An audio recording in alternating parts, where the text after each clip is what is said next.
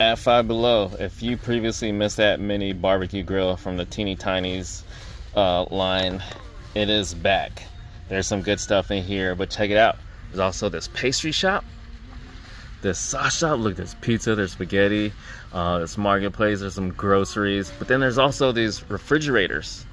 There's this one here, retro refrigerator.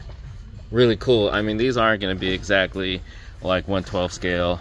Um, but they'll work. They'll work. They'll probably work even better for 110 scale 7 inch action figures.